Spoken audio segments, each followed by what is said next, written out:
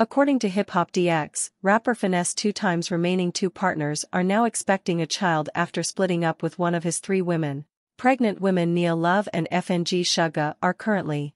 On September 25, Finesse announced on Facebook that Suga was pregnant. Mama, I need your help. Along with shocked emojis, Finesse posted on Facebook a picture of Suga's positive pregnancy tests. Suga announced in her announcement that Uncle Elroy and Suga have a creation on the way. The celebration is still going on, but I'm not doing a headstand. In the wake of a public separation with rapper Erica Banks, who publicly ridiculed his bedroom performance, Finesse2tymes first revealed his three girlfriends to the public.